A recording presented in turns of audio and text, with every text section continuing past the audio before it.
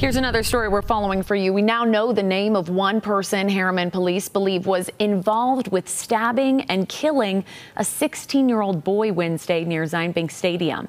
Police arrested 19 year old Keith McClendon on scene and then booked him into the Salt Lake County Jail for one charge of aggravated assault resulting in serious body injury, which is a second degree felony.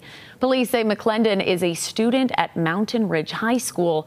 Now, as for the other teenagers they say might be involved, officers have not named them yet because of their age. Now, Saturday